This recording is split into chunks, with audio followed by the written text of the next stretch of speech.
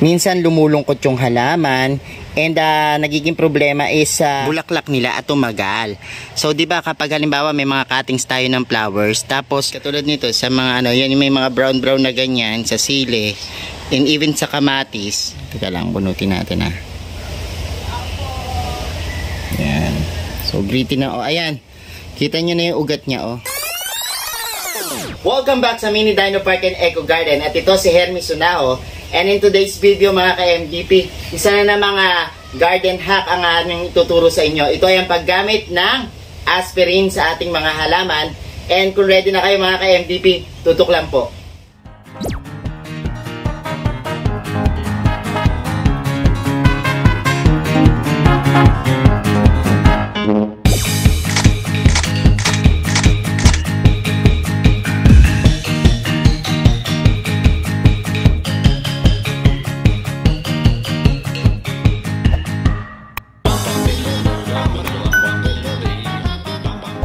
we're back mga ka-MDP at ngayon nga sa bidyong ito ah papakita namin sa inyo yung iba't ibang ah, pwedeng ah, maging benepisyo ng paggamit ng aspirin sa inyong mga halaman.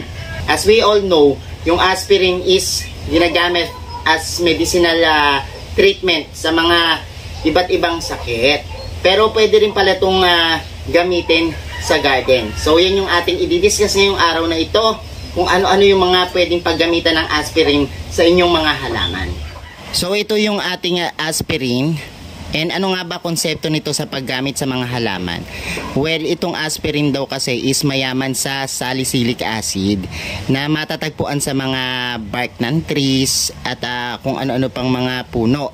Na ito daw ah, salicylic acid ay ah, may kaugnayan sa pagtanggal ng mga stress sa pagtatanim ng halaman.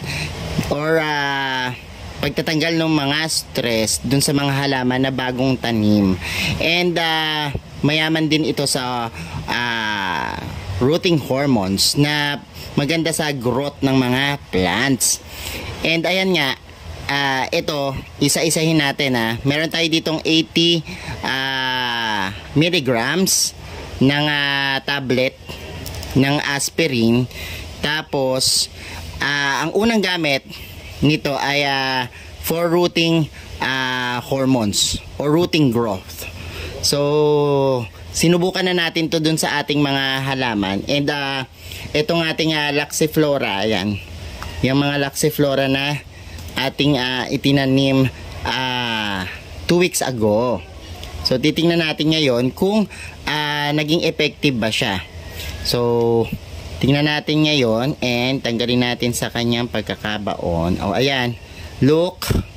Yan, may ugat na yung ating mga uh. So, ayan. Tingnan rin natin yung iba. Ayan. Ah, meron na rin. Sumulpot na rin, oh. So, ito wala pang 2 weeks. Actually, wala pang 2 weeks. Ah, parang ah, last week ko lang to inano. Teka lang, bunutin natin ah. Ayan. So, gritty na. Oh, ayan. Kita nyo na yung ugat niya, oh. Di ba? Ang bilis mag-ugat nung kanyang ah, kapag ah, ginamitan mo siya ng aspirin. O, so, paano nga ba to, paano ko nga ba to ginamit? So, ganito lang. Ayan. Tabi muna natin tong ating mga Laxiflora.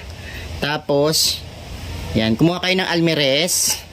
Tapos, ayan, isang ah, basong tubig. O gamit lang kayo ng isang tabletas ng aspirin.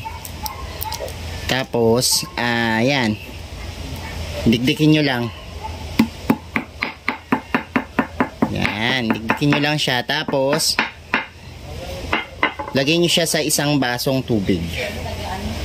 So, isa isang basong tubig lang. Tapos, ah, ayan. Hintayin nyo lang siyang matunaw. Tunaw na yung aspirin. Ah, hayaan nyo lang muna siya dyan. Tapos, ah, kukuha tayo ng, eto, Laxiflora. Yan, yun yung ginamit nating halaman. So, taas lang natin ng konti yung ating ah, vlog. Tapos, gugupit lang kayo nung cuttings. Usually, ginagamit sa mga cuttings to ah. Yan, tapos tanggalin nyo lang siya.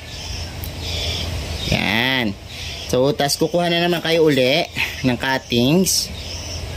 ating mga Laxiflora. Huwag kayong mag-alala kasi yan o, kita nyo yung ating kinuhanan before. Ayan o, ang dami ng sumupling. Ang dami ng mga tubo-tubo. So mas lalago pa nga yung inyong mga Laxiflora kapag tinrim nyo. So ayan, sinubukan natin sa Laxiflora. Tapos ang gagawin natin is, uh, ibababad lang natin siya sa Laxiflora for about 1 uh, hour. So 1 hour lang siyang nakababad yung ating uh, uh, halaman dito sa, sa tinunaw nating uh, aspirin. So balikan natin yan after 1 hour. So ayan lumipas na yung 1 hour and uh, ang gagawin natin is hahanguin na natin siya. Yan. Tapos ah uh, pwede namang hayaan nyo siyang matuyo. O, lalo kasi ito, uh, depende sa halaman. Like for example, yung mga ornamental, tapos yung mga talagang matitigas yung stem niya.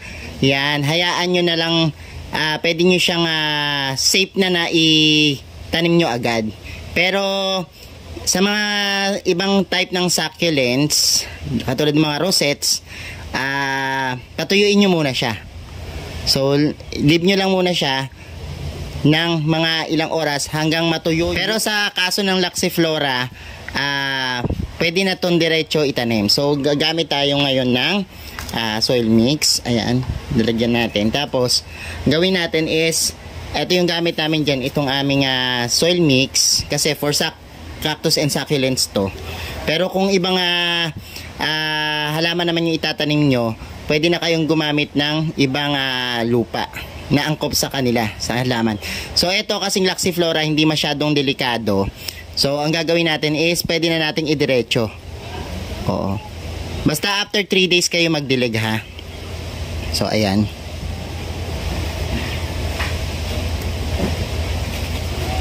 So ibabaon lang natin siyang ganyan. Tapos ayan. Hayaan nyo lang siya after 3 days tsaka nyo siya diligan. Ha? Tsaka nyo siya diligan. And uh, makikita nyo, uh, one week lang or two weeks, meron na yung ugat. Mabilis mag-ugat. Tsaka magaganda yung tubo ng ugat niya. Katulad nito, oh. oh. Mabilis siyang mag-ugat. And, ayan yung, ganyan lang gagawin nyo sa uh, aspirin para makatulong sa uh, rooting hormones o rooting growth ng inyong mga succulents. Pwede rin yan sa iba't ibang halaman ha. Hindi lang dito sa mga succulents pero pwede rin sa ibang uh, ornamentals kung gusto nyong magpaugat ng ibang halaman. So sundin nyo lang yon And itong pinag uh, babaran nyo, wag nyo itapon.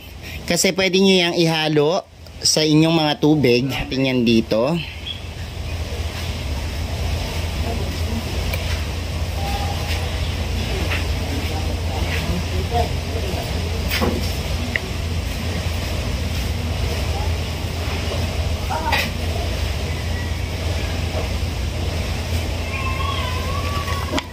So ayan, uh, kapag naihalo na natin sa tubig, so wala namang exact uh, ratio ng tubig, basta ihalo nyo lang, uh, pwede nyo nang gamitin pandilig.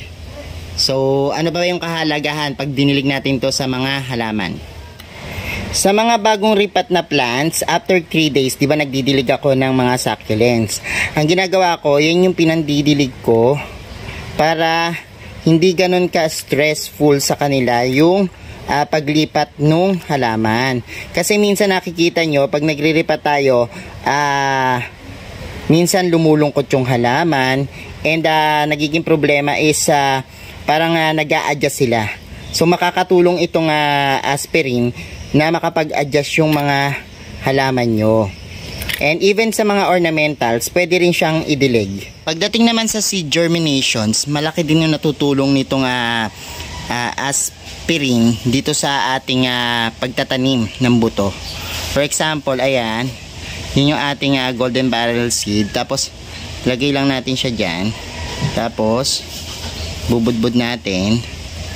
Tapos, ayan. Tapos, isprayan lang natin siya ng, ah, uh, yan, ng uh, tubig na tinunawa natin ng aspirin. mataas yung uh, percentage ng germination ng seeds kapag uh, inisprayan mo nung uh, tubig na mayroong aspirin. So ayan, pwede nyo ring isalin yung uh, tubig na may aspirin sa inyong mga sprayer uh, para naman i-spray sa inyong mga halaman. So ganyan lang, i-spray nyo siya. Pero I suggest na uh, gamitin nyo yan bandang hapon or yung hindi masyadong mainit yung uh, sinag ng araw o hindi masyadong mainit yung panahon. Kasi uh, maaring uh, makaapekto yung uh, yung inispray nyo dun sa dahon ng mga halaman kapag halimbawang uh, dinilig nyo kapag mainit actually itong uh, ini-spray ng iba yung uh, itong aspirin na dinisolve sa tubig sa mga gulay Ayan, sa mga sili din, ayan, ini-spray ko din sila minsan. Kasi minsan may mga nakikita kayo yung parang brown sa sili. Tapos, isprayin nyo lang siya dyan, ng ganyan. So, mag-spray lang kayo every 3 uh, weeks. Yan, sa loob ng isang buwan, uh, isang beses kayo mag-spray. Tapos, ulitin nyo na uli after 3 weeks. Pwede nyo na uli siyang sprayan ng uh, tubig na mayroong aspirin para tingnan nyo mas maganda rin yung ano parang nagiging fertilizer din kasi itong uh, aspirin dyan sa mga uh, gulay natin ayan katulad nito sa mga ano yan may mga brown brown na ganyan sa sili and even sa kamatis yun yung nagiging problema so ang gagawin nyo lang sprayan nyo nitong uh, yan yung ating tubig na mayroong aspirin yan ito nyo yan. Para uh, mawala yung mga brown brown na yun sa. Ayan, sa mga bulaklak din, magandang gamitin yung uh, tubig na tinunawan ng aspirin para ma-preserve yung mga bulaklak nila at tumagal. So, 'di ba kapag halimbawa may mga cuttings tayo ng flowers, tapos uh, lalagay natin sa base, Ayan, pwedeng magandang lagyan ng uh, aspirin yung kanyang tubig para mas mapatagal pa yung bulaklak. So ayan, kukuha tayo ngayon itong, uh, ayan, itong ating mga bulaklak tapos ilalagay natin dun sa ating base. So ayan, nakakuha tayo ng mga bulaklak tapos ang gagawin natin is lalagay lang natin dito yung sa ating flower base. Ayan. Taas natin ng konti. So, ayan yung ating mga bulaklak. Ang gagawin natin is lalagyan lang natin yan ng uh, isang aspirin. Isang tabletas ng aspirin. Tapos, yan, uhulog lang natin yan dyan. So, yun. So, ihulog lang natin yan. Yan nyo lang dyan natunaw yan dyan. Yung ating mga aspirin. And, uh, mas mapapatagal nito yung uh, freshness ng ating mga bulaklak. So, ayan yung ating uh, aspirin. So, pwede rin yan na gamitin uh, sa mga ganyan. So, yan pa yung isang uh, gamit ng aspirin. So, ayan mga ka-MVP, napanood nyo na kung ano-ano yung mga uh, benepisyo ng paggamit ng aspirin sa mga halaman.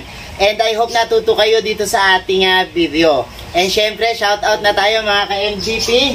Ang dami nito kasi talagang uh, super active yung ating mga uh, ka-MVP dyan. And uh, ngayon, tatawagin ko na kayong mga MVP Warriors dahil sobrang active nila dito tumambay sa ating uh, uh, channel. And syempre, yung mga nag-share na uh, palagian, tsaka nagko-comment, maraming maraming salamat po sa inyong suporta.